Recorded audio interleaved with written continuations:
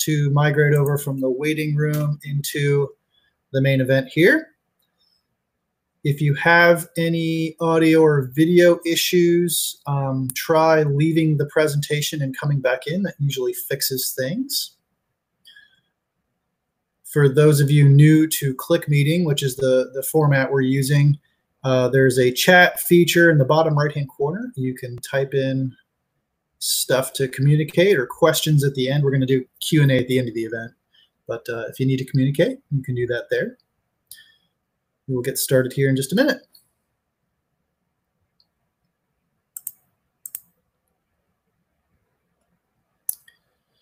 All right, and we'll go ahead and get going.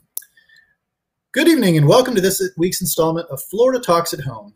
My name is Alex Buell, the program's coordinator for Florida Humanities. Normally, Florida Humanities works with cultural partners across the state to put on programming like this in person, but obviously that can't happen right now.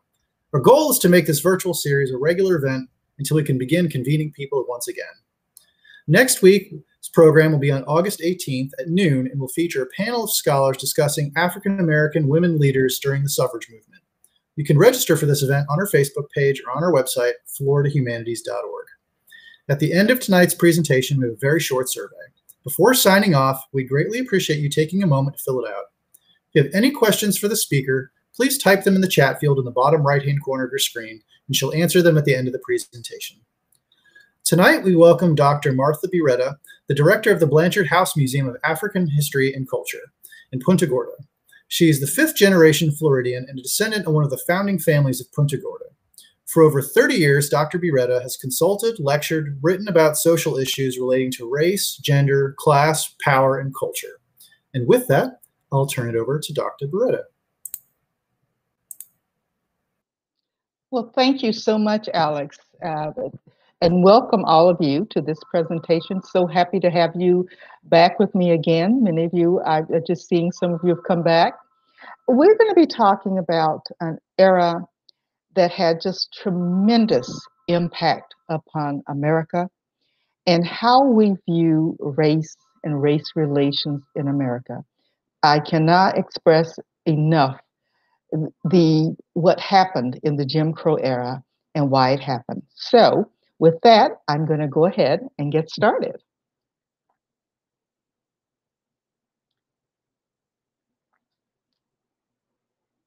Okay, Alex.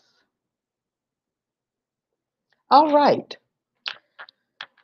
One of the things I, I want you, as you're, you're sitting here and, and you're listening, just kind of, and maybe you can discuss this maybe at the end. What motivated you to take this class? I know uh, there's a lot going on right now in our country, and perhaps that was one of the reasons that you needed to understand what's going on in our country.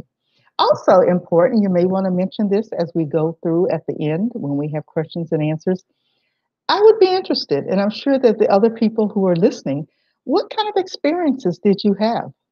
Did you maybe live in the North and come South and were shocked to see uh, colored and white uh, drinking fountains? So, what was your experience? Did you have any experience with Jim Crow?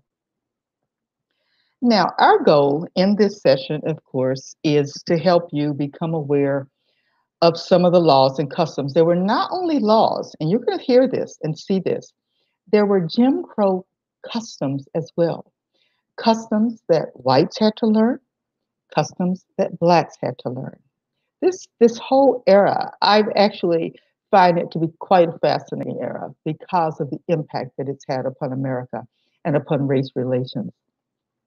Secondly, uh, to identify stereotypical images that remain in the collective American mind.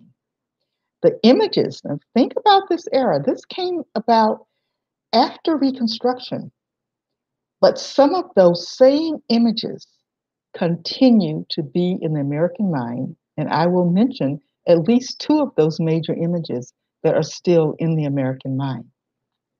Thirdly, to understand how this whole era of Jim Crow continues to influence, of course, what's happening in our country today as it relates to race relations.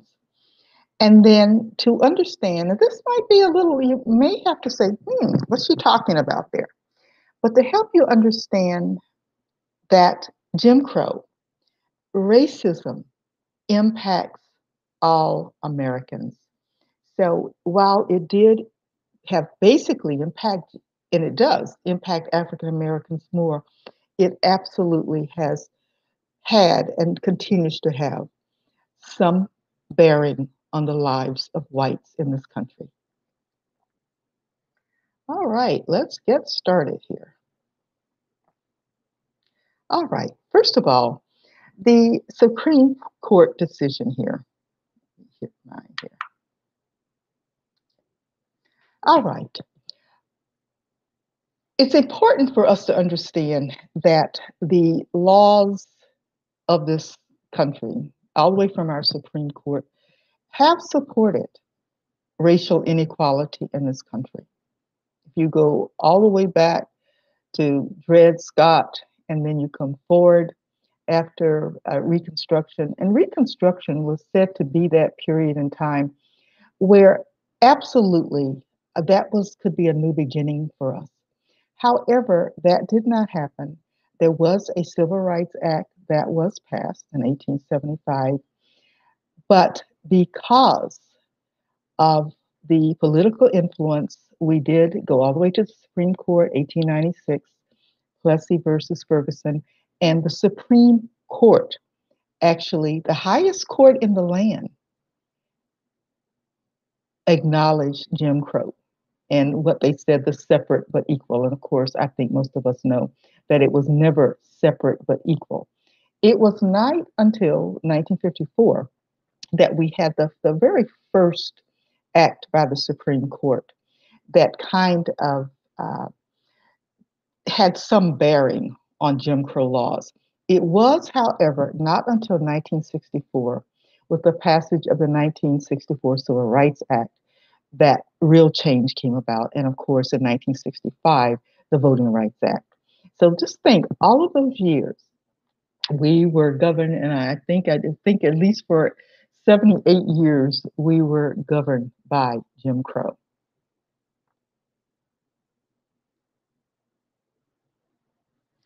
Okay, what was it? All right, Jim Crow was laws, as I said, and customs. Um, and they came about because of wanting to to regain that that whole sense of uh, white supremacy. The, you know, was very much a part of that white supremacy ideology. Uh, there had been, you know, the enslavement period, and then with the Civil War. After that, you know, of course, we got into the Reconstruction, the radical Reconstruction, and so the power elite, in particular, were very interested in getting back this whole idea of white supremacy. And so one of the things that uh, was done was to build in these laws. Now, very important, and we're going to talk about this more. We, we had the laws and the customs, but this racial caste system came about um, after you know the end of Reconstruction, and a lot of times we think, oh, it was only in in the South and in the border states. However, there were Jim Crow laws, they may not have been called that, but if you had laws that were redlining laws where African Americans could not buy a house in certain areas, let's say in Chicago, that was also a Jim Crow practice. Okay. Again, you see, it's institutional, an institutional form, and that's because of law and customs. What it did, of course, as you can see, it favored whites because the, the bottom belief system, and this is what's important, is to understand that belief system. The belief system in white supremacy ideology is that white is superior, black is inferior. Now, it's very interesting. Just white by itself has no meaning unless it is juxtaposed with the opposite being black. So when you have this system of, of supremacy, Jim Crow ideology, you have to say, first of all, that there's one group that is superior and another group that is inferior. But unless we have the other side of that, then just whiteness has no meaning in itself. So it was a system of both segregation and discrimination that, of course, in almost every aspect of African American life, barred African Americans from any kind of equality. Um, it, it, did not only did it it do that for uh, African Americans, and I want you to think about this a little bit. One of the things that that happened with this whole uh, institution of racism that did come about, if you check your your history books, came about basically after uh, Bacon's rebellion back in 1697. Uh, prior to that time, there was, well, in 1619, when the first blacks came, first Africans came, there were no white people here. So you say, oh, wow, there were no white people here. Well, people were either English or they were call themselves Christians. We were a class-based society, two groups of people. The people of the ruling class and the indentured servants. Then, of course, the Africans came over. First Africans were not slaves, they were indentured. The system of slavery did as they discovered that, hmm, Africans, when you look at this system, it's on the long run, we could bring Africans in, and they only brought Africans in who were able, who had the skills, the agricultural skills that they needed. So they brought the Africans in. And what happened was that the indentured class began, you know, the whole thing. If you come over and you're indentured, you're supposed to be able to take part in this. You're supposed to be able to grow some tobacco and become a rich man too. Too many of these indentured Europeans were starting to want their freedom. And so the ruling class then devised a method of divide and conquer. And they had to do this because there were actually the number of European indentured outnumbered the Africans who were here. But when the indentured servants, the Africans, and some Native Americans got together, that was a force that could really overthrow the ruling class because there were so many, many more of them.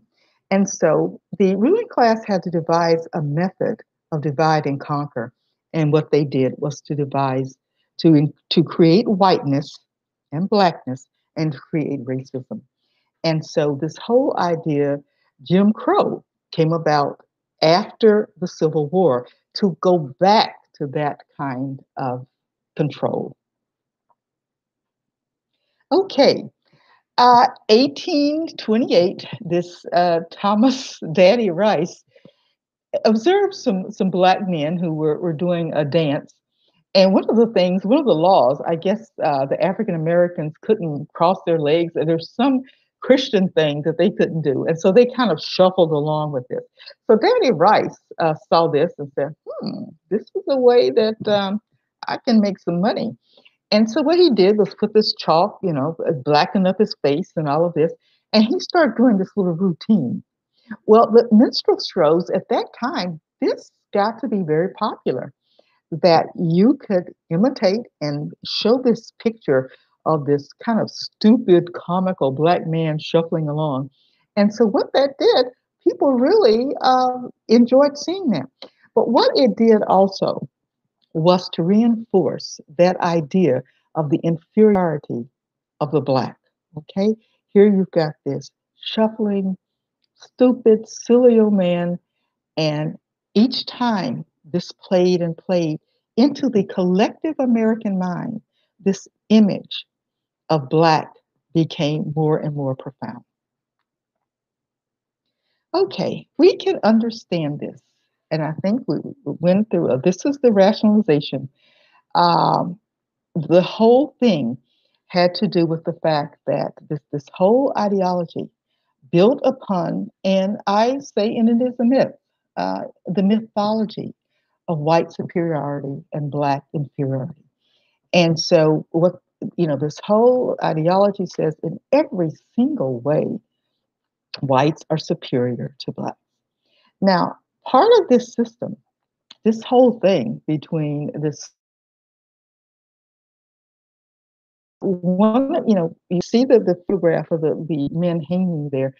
One of the things that and this goes back to 1697. Before the creation of whiteness in Virginia, in the colonies, mis- miscegenation was rampant. Uh, there were stories told and jokes made about all of the children there who were mixed. And so, part of what had to happen, you couldn't have these people running around who could pass as white. Okay, so you had to do something to make sure that we could keep everybody under control. One of the first things that was done was miscegenation laws to stop this relationships between blacks or Africans and Europeans at the time. Uh, at that time, before 1697, Africans and Europeans, many of them Irish, they worked together, they married, they had children, and they rebelled together. It was the rebellion of these groups joining an alliance because all these people were in the same position. They were all servants, they all belonged to the same class. And in order to stop that, there had to be the institution of racism created. And so you can see here that the whole thing of this whole sexual relationship, that was just feared. Because if you have this sexual relationships, then you're going to produce people who, many of them, could be white because you could not tell the difference. And in fact, I have read that at least of the early people, uh, the early Europeans that came, is that at least 25% of all African Americans have some quote unquote white blood. And that all did not come about through the rapes that happened. Much of it came about, especially in those early colonies, because people were free to love and to marry who they wanted until the institution of racism. All right. So it was pervasive. It impacted every aspect of African American life. I'm talking about from the cradle to the grave. The hospitals had to be separate.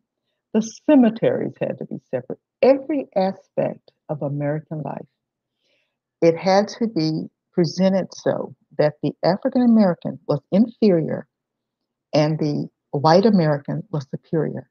And so, one way to do that would be to make a law that are laws and customs that made it impossible for you to ever, for an African American, to ever have the same place in society that white Americans, who were now white Americans, had.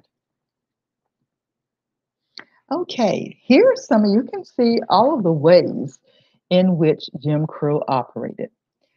Of course, schools, that was a biggie because, and, and it went a little further. You know, many of the politicians who were very opposed to integrated schools said, you know, your daughter is going to be sitting in class with a, a black guy. And, and what happens? They start to see each other. So the separate schools, uh, the whole thing of, of intellectual inferiority that the blacks really probably couldn't learn and didn't need to be in school with white kids. But at the bottom line, had to do with those relationships. Um, actually, it was a criminal offense for blacks and whites uh, to attend the same schools. Also, and this, and I want you to think about how the rights of whites were affected also. It was a criminal offense for a white person to teach a black child. And so not only were the, the rights of blacks affected, but the rights of whites were affected also.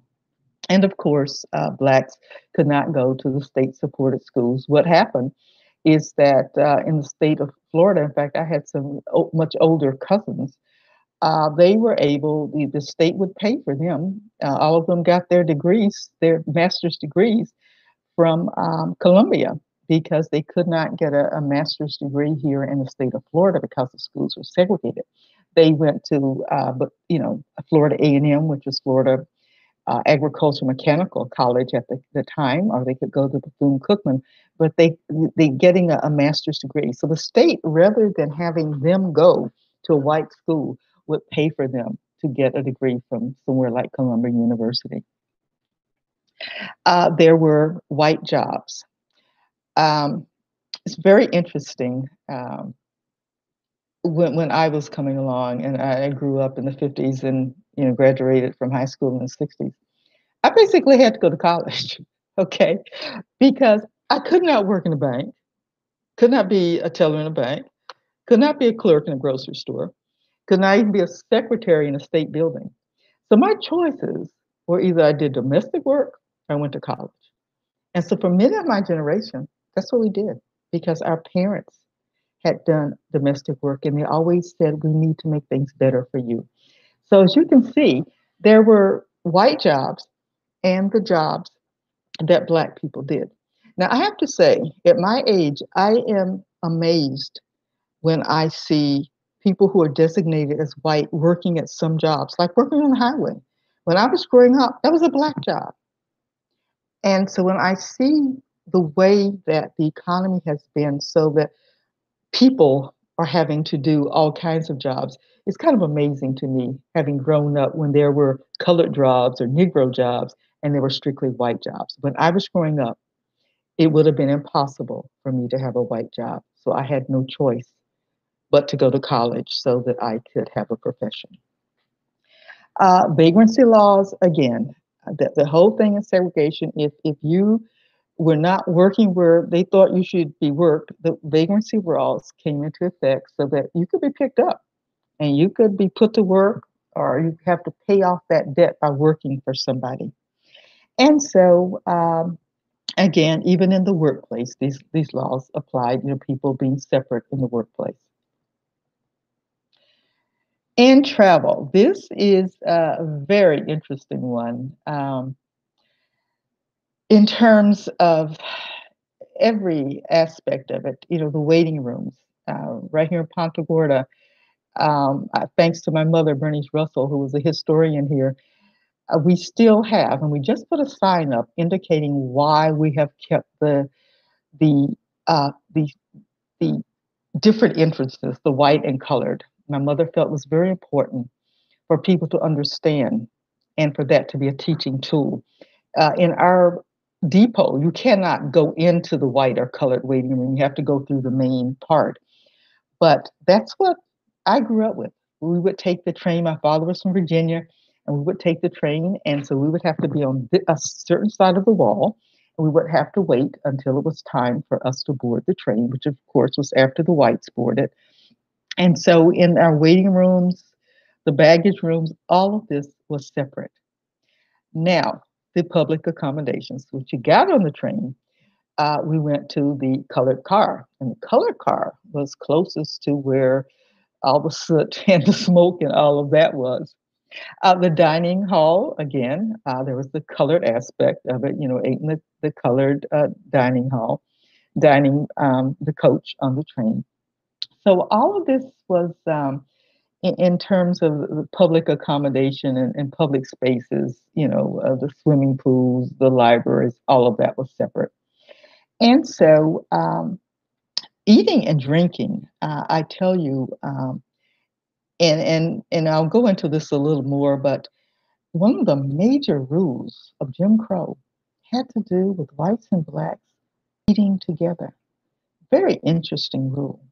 The fact that you could not sit down and break bread together.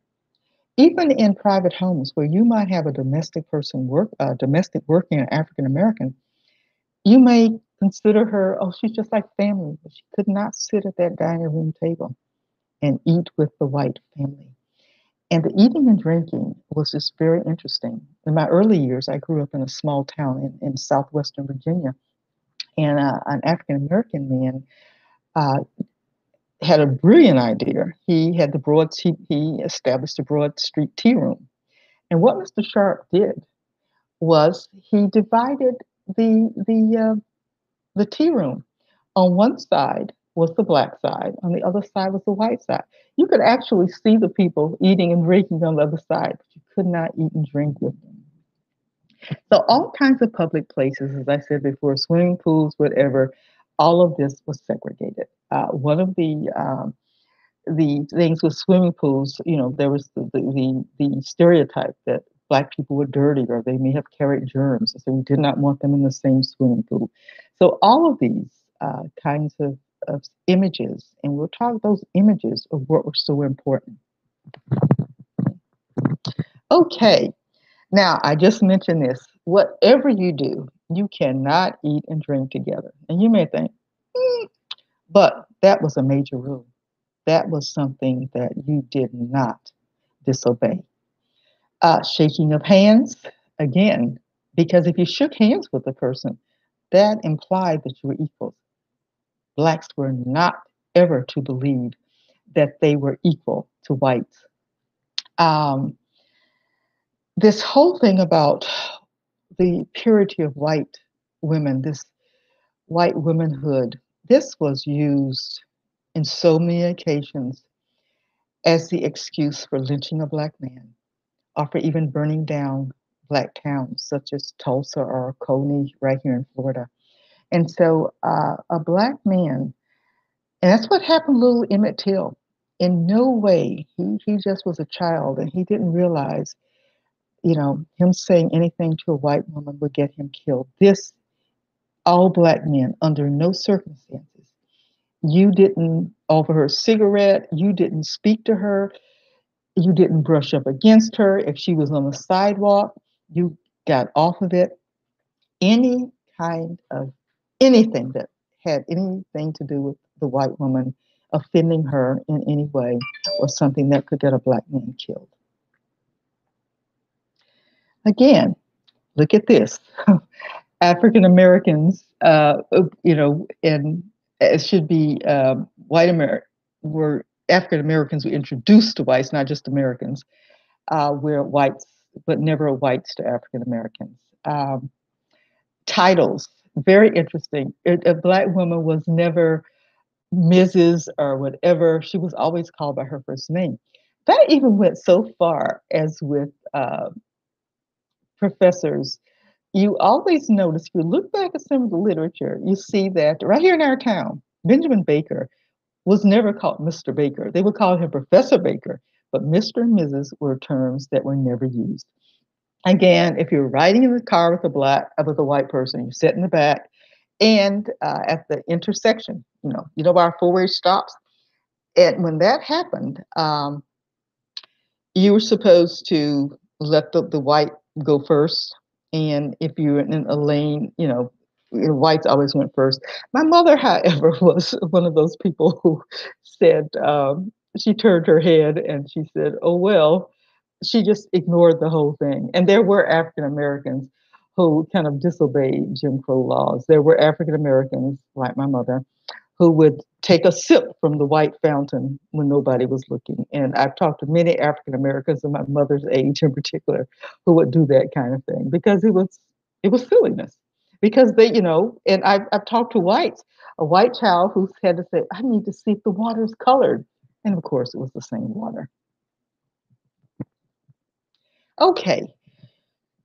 Again, as I told you, when whiteness was introduced, um, the first group of white indentured servants had to be taught to be white. They were just Europeans. So, one of the ways was, of course, they were segregated. They were given uh, some advantages, better clothing. Uh, up until whiteness was created, these indentured servants, they lived together, they all ate together once whiteness was introduced, the racism was introduced, then of course they had to eat separately, they had to live separately. And so this whole system of learning to be white, whites had to learn this as well as blacks. And keep that in mind.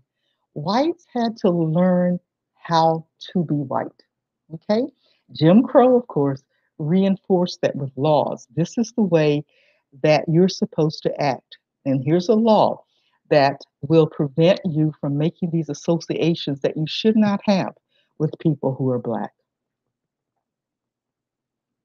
And of course, Blacks early on had to learn that there's some rules that you obeyed. And as I said, there were many African Americans, like my mom, who kind of, um, even though they were considered to be white, but uh, inferior by whites, did not feel that way about themselves.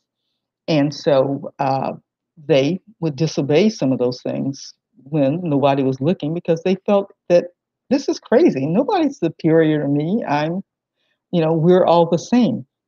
So, but we were all taught that because of the threat of violence, that we had to at least pretend to obey the rules, uh, that we had to follow that pattern because if you got out of your place, violence was what could be could come to you. Is if you misunderstood your place, and that's what the the ideology of white superiority of white supremacy did was to fix the places, fix the physical place of African Americans and whites to, to some extent, but also to give whites the, the emotional, as, as W.E. Du Bois called it, the psychological wages of whiteness, which an esteem, a place that went with being white.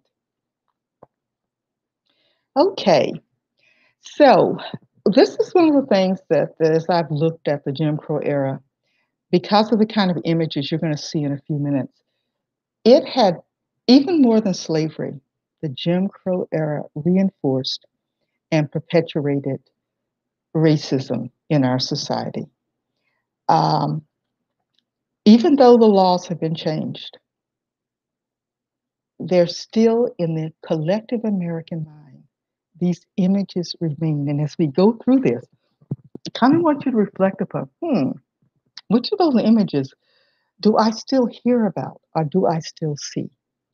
And so these these same images, it's amazing that since 1877 and beyond, these images, think of all those years, that even though the laws have changed, the images are still in the collective American mind.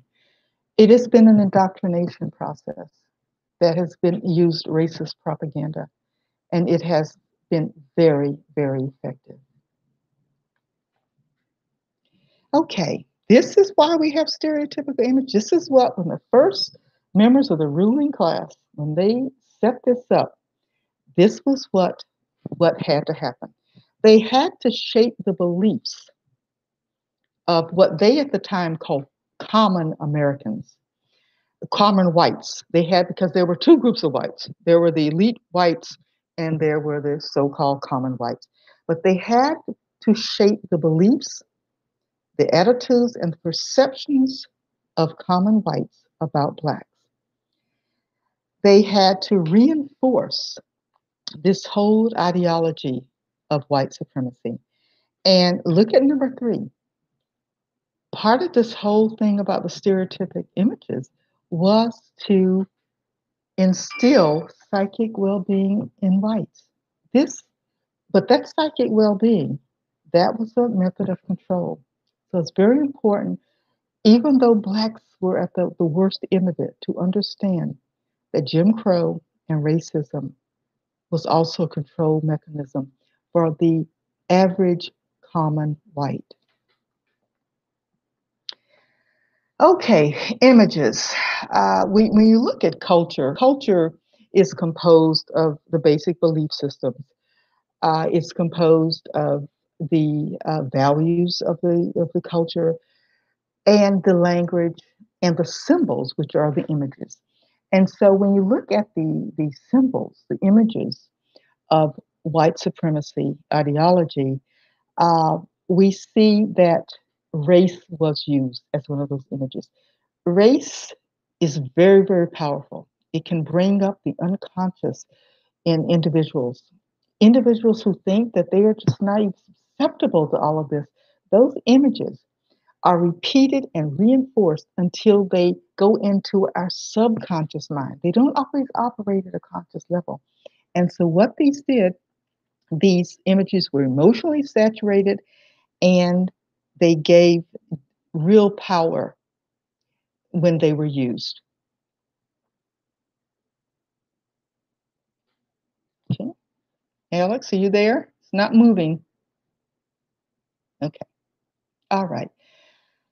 Uh, these images of African Americans were always exaggerated. If you think about some of the pictures, and you're going to see some of them here, uh, usually, you know, the the the mouths, they, they made them animalistic. What had to happen with these images was to dehumanize the individual. And so you had these huge uh, lips, big white eyes. Uh, when I've looked at some of the pictures, um, there was a, I think it's called the Green River Whiskey. The, the man who's intro, who is advertising it is a black man, but his hands are like the hands of apes. He's got these really hairy arms. And so what happened here was as long as you could dehumanize this person, you did not have to treat them as an individual. If you dehumanized an African American man, you could lynch him, you could burn him, you could castrate him, you could even take his fingers and ears as souvenirs and take them home. You could take your family to a lynching.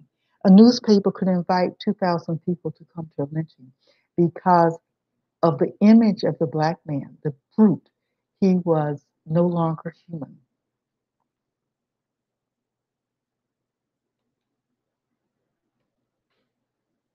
Yep, there we go. Okay.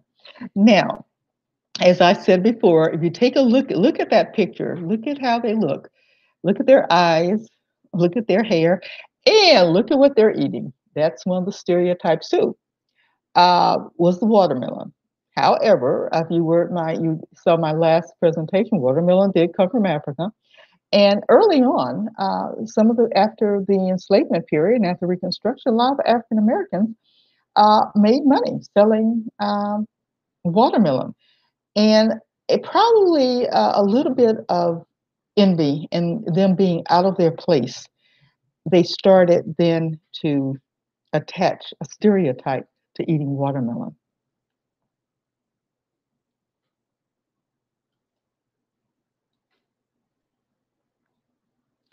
Okay, this uh, very interesting. The watermelon, the alligator, the the cotton. You can see the cotton there, and but the whole all of this was used um, to support the the whole ideology of inferiority. Uh, if you've ever seen the the, the young uh, black babies or black men, especially the babies, uh, they were called alligator bait. And actually, I went and got my did my graduate some graduate work at the University of Florida, and not until this this latest controversy came up, I never realized uh, what that meant. The um, the hands doing this, and when I looked at some of the pictures, it it did have some uh, image stereotypical image there because African Americans, especially the children, were known to be alligator bait.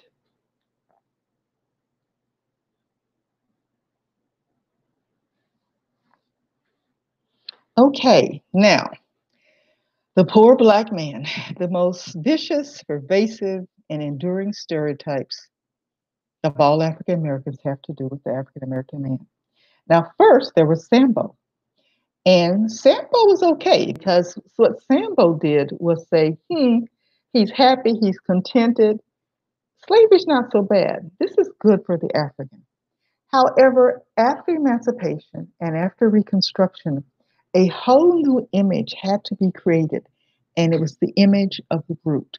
And it was especially during that time that this whole aspect of the of the purity of the white female, and that every African American man wanted to rape a white woman. This is when this came about.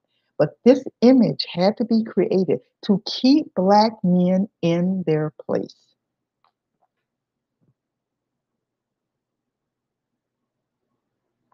Okay, so as you can see here, as I've already said, uh, take a, just take a look at and read that for a minute. Uh, the, the role that the Sambo played and the role that the brute played. Again, these are images that were created. These images had to be established and created. They, they were not always there. And when the first Africans came, the image of the Sambo was not there. The image of the brute was not there. These images were created for a reason to subjugate the African, the Black, and to control the beliefs, the attitudes, and the behaviors of whites.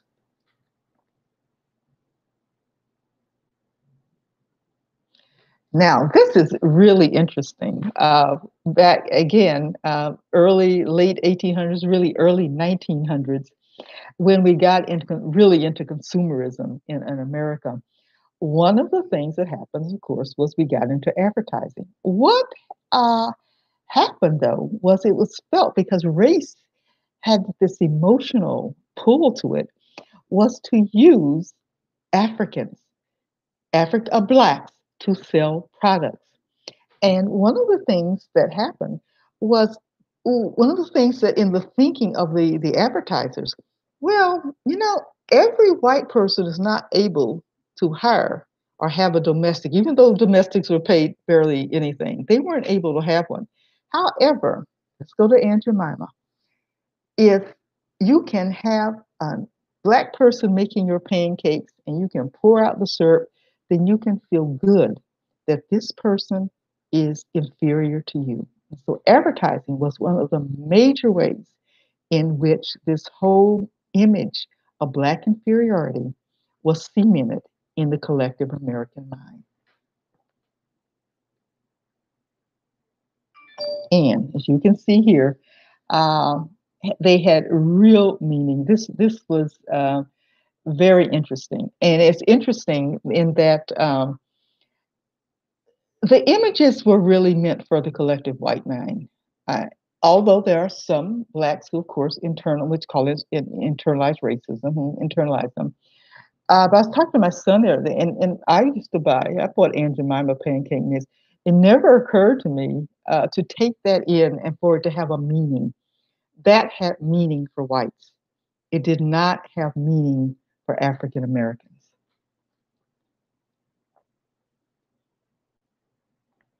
Okay, so here you go. Uh, you can see more. Just take a, a, minute or two to read this. Uh, and especially when you come down to number three, because what this did, just keep in mind the psychic well being and the social standing of whites. All of these things, these, these stereotypes, these images, what it did was to create this feeling of whites are superior, blacks are inferior because they're serving you. Okay? They're the cookie jar. They're the Aunt Jemima. They're the syrup. They're the uh, gold dust twins who are selling detergent. All of these black, inferior blacks are in their place and they're serving you. Okay, look here, you take, take a look here, um, and you can see here, looking at these images, look at them, see what they're doing, and just always look at the, the look at their features, look at what they're doing. Very important. What was the message? This is the whole thing with images. Images are symbolic, images carry messages. And these messages were reinforced and perpetuated the idea of white superiority and black inferiority. They all carried a message. Okay, now Benson, uh, 1988, wrote, you know, did some writing, and he said that uh, actually, you know, the, the stereotypical images did something for the, the well psychic well-being of whites.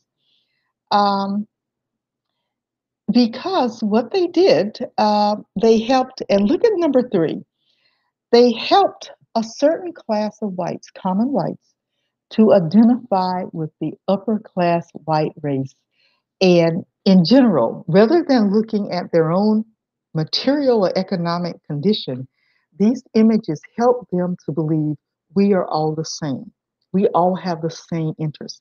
Yes, the same race interests, but not necessarily the same material and economic privileges. But this, uh, when you know, it came about, when we started advertising, this was a way to bring the white identity together. For African, for white Americans, common white Americans, these images help them to feel white, to feel like I am one, I am one with the upper class.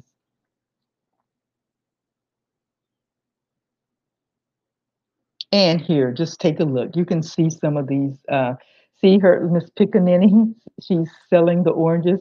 Just these are the kind, this, when we're talking about these, think about how many images were out there.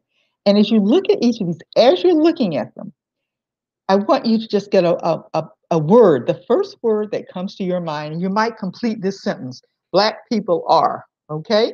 So as you look at the first one, you look at the second one, you look at the third one, what's the very first word that finishes the sentence, Black people are?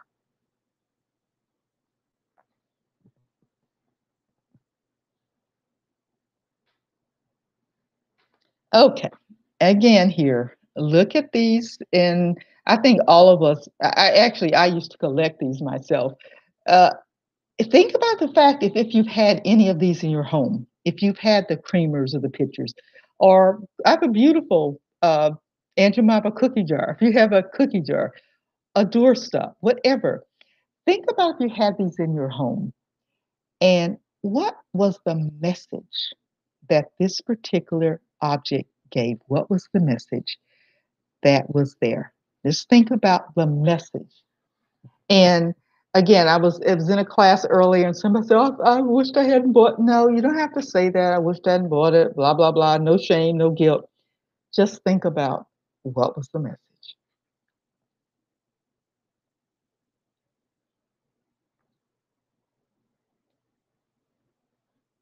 Okay, and here again, as I just said, take a look at those. Okay, did you you have any of these in your home? And what might, as you see at the bottom, what relevance do distorted images created during that Jim Crow period? What do they have now? There, there's that little alligator bait down there. There's the Aunt Jemima. You know, we're having that little thing going on with Aunt Jemima. But just take a look at these. I think most of us are familiar with these at some extent. Look at the guy on the left. Look at the mouth on him. I tell you. And that's probably was really frightening. You know, this man might be after my wife or my daughter or my sister. That was the image that was supposed to create fear in the mind. Okay, so again, there was there was no there was never any innocence to stereotypical images, as you saw in the first slides there was a reason why they were created.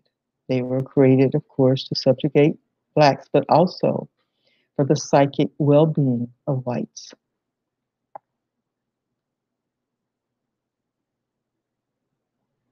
Okay. And I just said these, and you can just take take a minute there to just uh, look at those. Okay, and and as you can see, this is why um, you know these images you know uh, again we, we come all the way now to to polls and, and the, the whole thing about the poll taxes and all of that It's very interesting uh, fact that an older gentleman right here in Punta Gorda who identifies as white said that hmm those poll taxes didn't just hurt black people said you know how many poor white people couldn't vote because of poll taxes and actually i, I did um, i was very curious because my uh, my ancestors were, were one of the first blacks to settle in Punta Gorda. And so I was very interested in voting. And back in the 20s, when we still had uh, poll taxes, 126 black people voted here. They were able to pay their poll taxes.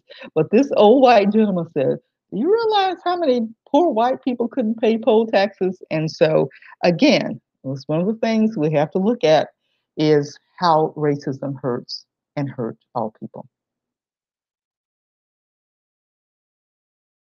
All right, let's come to our wonderful state of Florida. And I see I'm easing up on my time here. Florida was one of the states with the the most and the most severe penalties in terms of Jim Crow. Uh, the harshest penalties you can see right here. Look at look at some of these. Just take a look at them. That, that if you saw somebody who was happened to have a relationship between a black and a white, if you were informed on them, okay, you could get some of the money for informing on them. Okay. So if a white person wanted to have a relationship with a black, their right to have a relationship, they could not have that right. Looking at, look here, 1873. But in 1967, and I remember this, the, Sar- the, city of Sarasota passed the, the, the, ordinance saying that the, the beaches uh, had to remain segregated. Very interesting, very interesting. But Florida laws, Florida had some of the toughest laws related to Jim Crow. Now, again, here relationships. Um, this this this whole thing here. If you take a look here, look at the second one. Um, the kinds of things that that happen uh, in terms of relationships. Uh, you know, I see now. We see a lot. I see a lot of white grandparents with their little mixed grandchildren and all, but this whole thing. Uh, had so many um, this is whole miscegenation going back to if people who are of the same social class if they form alliances then the ruling class the ruling elite their power can diminish. And so all of this especially relationships was meant not to diminish power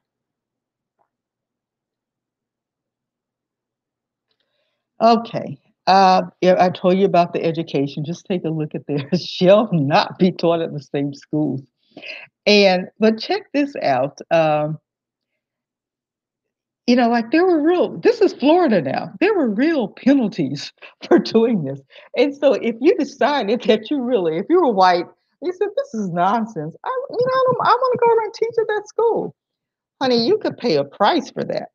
Again, your right to go where you wanted, to be with black people, to teach black kids, to have a meal with a white, you with a black, you could not do that either.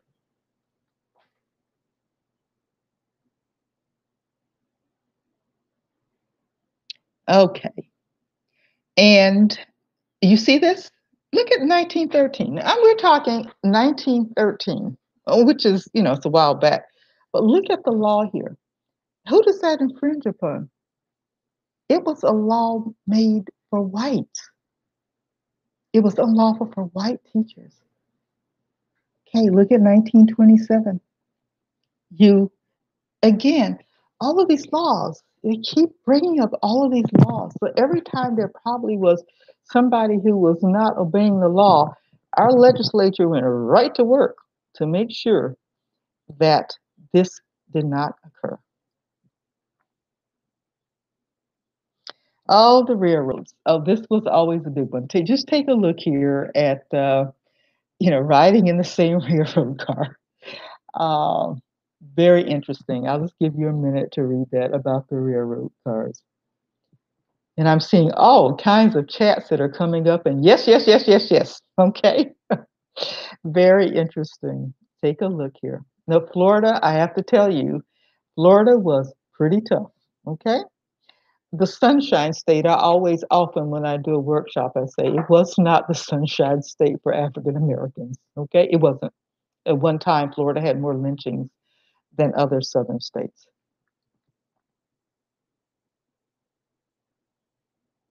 Okay uh, again here these are some. I just want to let you so you can see i'm looking at my time here wanted to make sure that you saw the laws here that have been passed uh, as it related. And you see, see how late some of these laws. Look here, 58. Look at that.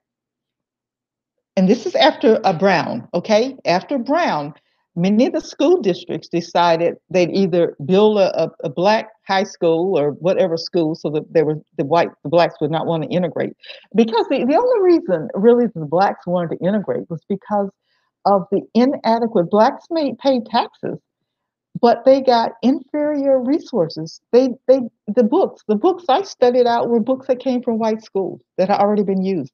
In my biology class, we had one microscope. And so what blacks wanted said, okay, so Plessy versus Ferguson, we absolutely wanted, if it was going to be separate, we wanted equal. And so that was not the case. And so rather than have the integration, then you you saw some of these uh, laws that were passed later. Okay, and you see uh, that. Oh, I went back. Did I go back? Yeah, I went back. We went back, Alex. We need to go forward here. Yep, let's keep going forward. Okay, here we were. So uh, look, take a look at this list. Every aspect of Black lives and white lives were impacted by this, mostly Black lives. Look at all of the places that Jim Crow said had to be segregated. Every, let's look at this. It's amazing. Truly amazing. Look at the sale of wine and beer. Can you believe that? we know parks and, and beaches and all of this. Oh, take a look at church. Uh, I forget who said this, but it, it has been said that during the age of Jim Crow, that 11 o'clock on Sunday mornings was one of the most segregated places in America.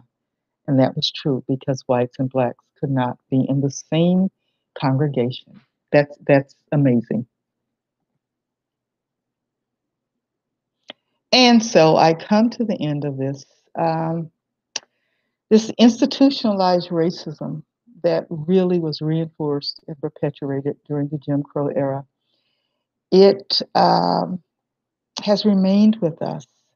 Um, right now, what's happening, you know, the George Floyd, what came out of that, absolutely had to do with a stereotype of Black men uh, the, the fact that uh, Trayvon Martin or a little 14, a little kid in Cleveland, Tamir Rice, who was threatening to police.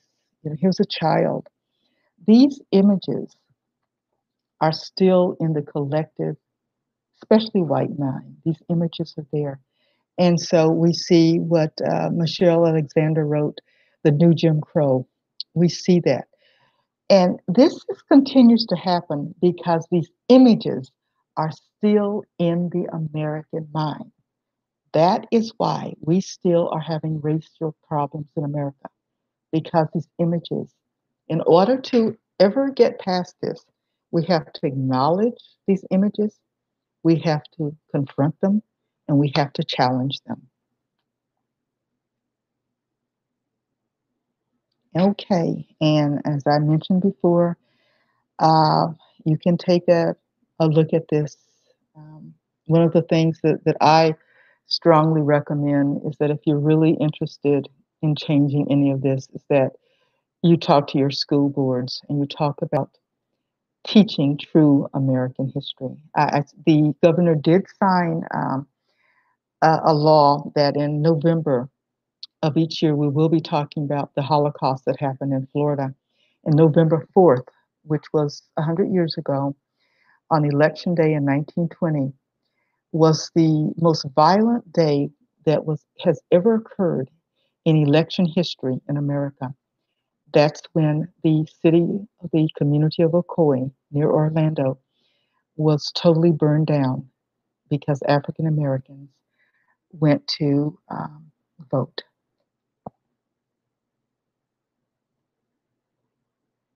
And we uh, at um, the Blanchard House Museum here in Punta Gorda, and as I was talking about some of it today, um, I think that might be a virtual um, exhibit that we might put up, and, and I'll let Alex know and let Florida Humanities Council know if we put that exhibit up again. But here's, here's some of the things that we had on um, an exhibit.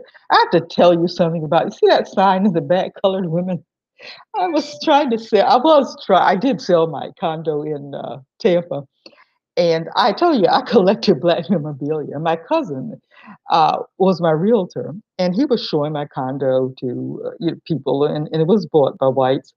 But I had the colored women sign on my bathroom door downstairs, and my Daniel came at me and said, "Martha, are you crazy? How do you think you're going to sell this condo with the colored woman sign on your door?" but I, as I said, I used to collect this, and uh, some of it was, you know, we had these were some of the items that we had in our exhibit at the Blanchard House Museum. and if we ever open again, please come back and visit us. You see the Aunt Jemimas? Those all actually belong to me.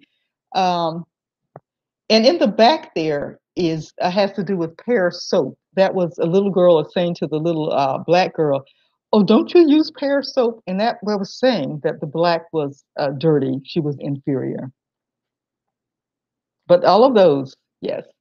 All right. Alex, I think I'm just a minute over, but I want to uh, get some questions here. If somebody want to ask, I just love all of your comments here. Um, thank you so much, Sharon, for for being with us. Um, oh, and I do. I will. I will come. I will get on the um, the August 18th. I, I do want to see that because I guess uh, uh, Mary McLeod Bethune. I think she was pretty active in all of that.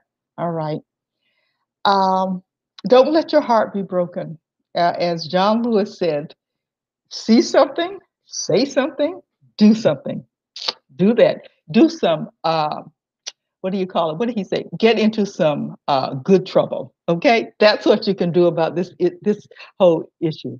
Take a look at these, and if there are any that you would like to um, respond to, uh, and thank you, thank you all of you for your comments. Alex, I hope we can keep these because at some point I'd really like to be able to just take a, a look at them. And, and I, I really um, am so appreciative, Alex, to the Florida Historicus, Florida Humanities Council for doing this work.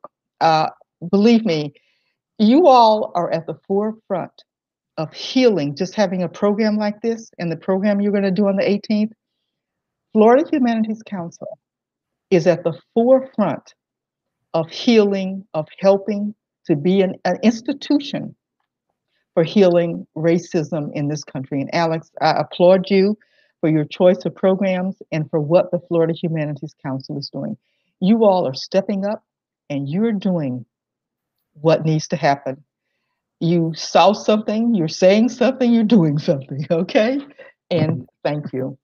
Well, thank you, Martha. And uh, lots of great feedback here. And uh, I typed it in the comments, but we are recording this. So if anyone wants to watch it a second time, it'll be available on our website sometime tomorrow. If they want to share it to folks who weren't able to uh, tune in for the live presentation tonight, um, uh, probably midday tomorrow sometime, floridahumanities.org.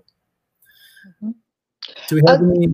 Oops, sorry, let me let me say this. Please share this if you watched it and you can go on and share it with your friends, please share this information. This is information that all Americans need to understand about the Jim Crow era. And somebody had said earlier, is that why the schools were so late? Yes, that's why. We had schools that didn't, Brown was 1954. We had schools that didn't desegregate until the 1970s. Okay.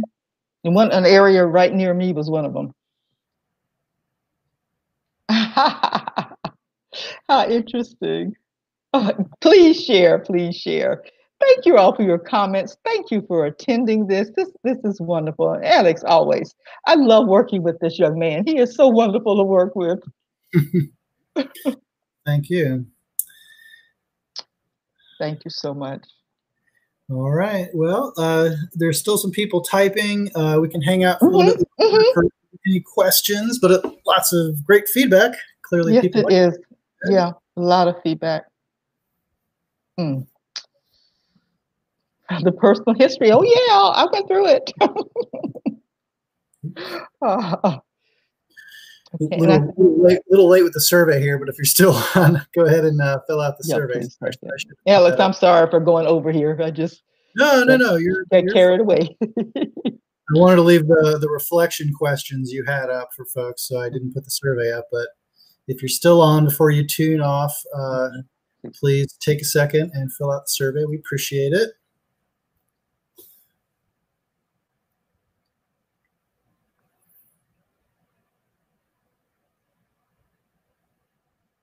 well, I tried to put it in. That's what our our time is is an hour, but I tried to put it in there, and I think I got through. I know an hour isn't long enough. We we uh, but we we tried to do what we can do here. Yeah. We gave you something to think about.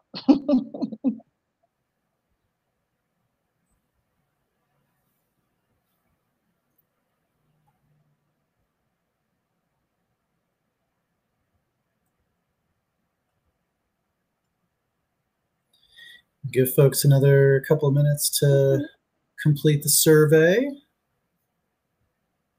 Again, thank you all for tuning in. Um, we have a couple week hiatus of these events. Uh, our next one will be August 18th, um, featuring a, a, panel discussion talking about African American women during the suffrage movement. Uh, August 18th is the centennial uh, marking of the ratification of the 19th Amendment. So, kind of a big day. I'm sure there's lots of other uh, women's suffrage related programs that day, but that's what we're doing in conjunction with the uh, Women's Suffrage Centennial uh, organization up in Tallahassee.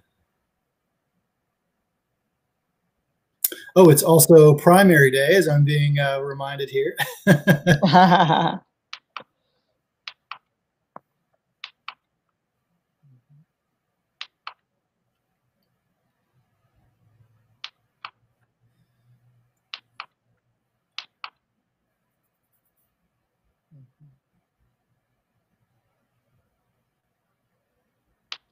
Thank you for your comments here.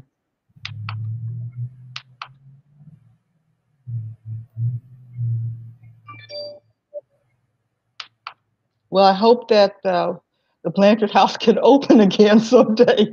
So we're we're going to be putting up uh, virtual exhibits until we can do that.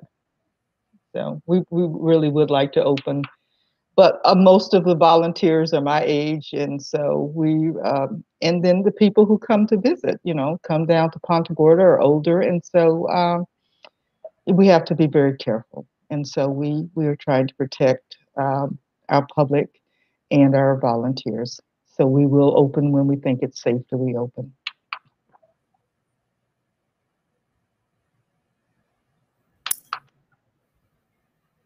Oh, I'm sorry to hear about the survey. I'm not. I'm not sure what's going on there. Usually, you can you can scroll through it on the top. What I see is different than what you all see. Hmm.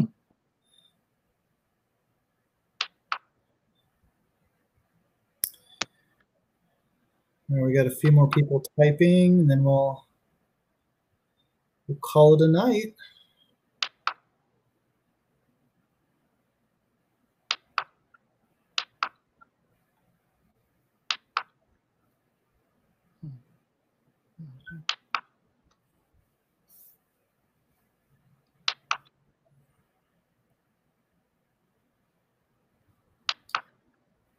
Someone asked if you think institutional racism can be solved by defunding the police. that's, that's All right, I, I, I, have to I have to laugh on that because um, I don't think in uh, what many African American communities will say was that um, many times there is not enough policing, and so I don't personally believe in defunding the police. I believe, though, that we do need sensitivity training for police. I think, like this this presentation I just did on stereotyping, they need to understand that so that they do not stereotype and profile African American men. But I also have been reading about um, some of the the issues that come up with people who are mentally ill and whatnot. And so I, I, I do think that some training that they would have related to social services would be important. So, no, I don't believe in defunding the police. I probably believe in transforming police departments. And I, I have done that training to help police departments transform. So, not defunding, transforming. Okay.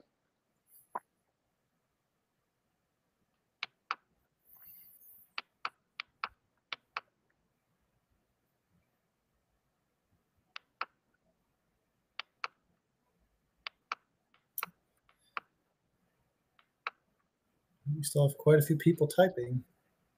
Oh, really? Let me go back down here then. Alex, what did I do so I can get back to where you are here?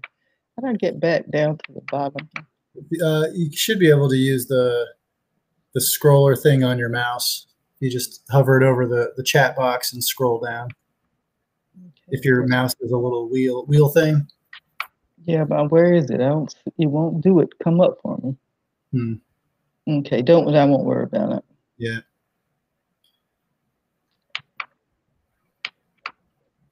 Oh, here I've seen some people saying that. Uh, thank you, Jennifer, on behalf of all history teachers. Uh, one of the things we can do is is teach accurate American history, and, and we need to teach, just not tell kids. We need to have kids do critical thinking. You know, we can you can do an exercise like this, and the, the questions that I ask on that, have have kids think about it. How did Jim Crow take away the rights of both blacks and whites. You know, there, there are ways that we can teach history that we don't teach history. I see that somebody wasn't able to to complete the survey because it wasn't completely on their screen. Okay. Yeah, I'm not sure what what happened there. You know, some of this we're at the mercy of technology with some. Oh yeah, yep, right. we are. uh, August 18th, the, the day you're having this is primary day too. I'm seeing somebody says vote, vote, vote. It's yeah. primary day. All right. Yeah, yeah, get out and vote. It's it's get also you know, centennial of the uh, 19th Amendment ratification, so yeah. just a just a coincidence, but yeah, it's uh, still still go vote. Day. Yeah. Yeah, it's it's important. Uh, there are are people uh, I don't ever miss since since the time that I could vote because I know like there were African Americans who who died just to have the right to vote. And so I have to vote.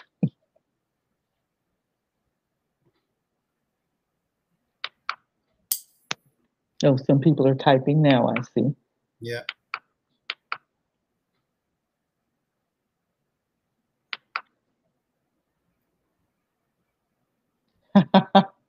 okay, Loretta, yes, transforming, not defend, not defunding.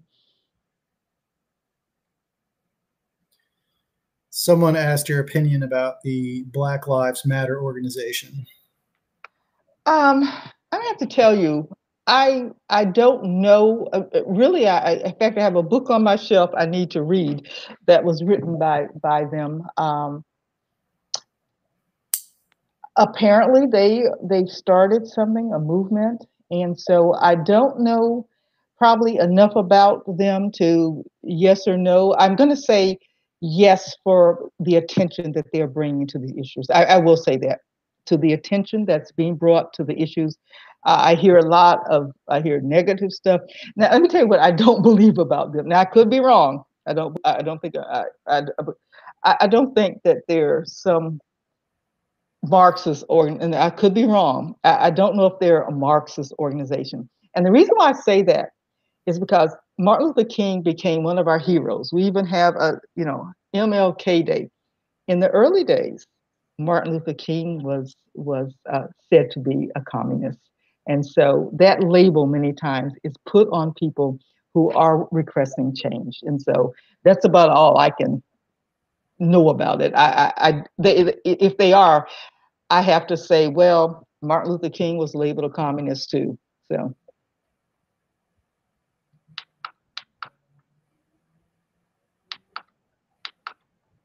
Somebody's saying, I think you should address the police. Where who's Loretta said something about addressing the police? Do you believe that uh, the police can be solved by? No, no, no. And I think I said that. That defunding, no, it's not going to solve the problem of, of racism in police departments.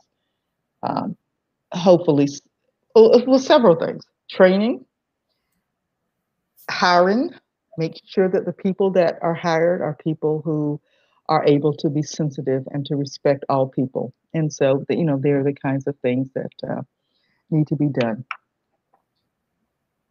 You know, well, Miss Robinson, um, all the thing I can do is tell you to share this presentation with history teachers. Okay, they can. Alex, can't they? Can't they do it? Get it off of uh, they can they can share it with their uh... yeah once once we have it posted on our website tomorrow uh, the link which it's it's just on our florida talks at home webpage we mm-hmm. have an archive of all of the programs we've recorded mm-hmm. you can just copy and paste that url and share it to whoever whomever you'd like Okay, let me say something. Uh, somebody just came on and said, I don't think, and talking about Black Lives Matter, I think the organization does not matter, the words do. And I will certainly agree with you. The words do matter. Black lives matter. And I, I, know a lot of people are coming up with the All Lives Matter. And the only thing I can say is I go back to the Declaration of Independence, where it says all people were created equal.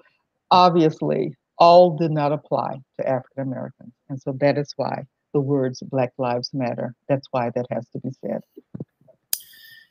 We have some we have some political stuff now that we probably. Oh, oh God, please. Probably not, okay, folks, I am just into uh, doing my presentation. I am not into politics. I do not want to get seriously, Alex. And, and I know Florida Humanities Council doesn't either. I really do not want to get into the political aspect. I, I want to give you some questions that you can think about because ultimately, let me say this as I did a class today. There's a saying, I am the peace I want to be any of this that has to change with healing racism in Americans, I personally have to be the change that I want to see happen.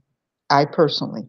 So that's that's where I stand on that. Not political parties, on what personal responsibility. Like John, I, I love back to Mr. Lewis. See something, say something, do something. That's an individual responsibility.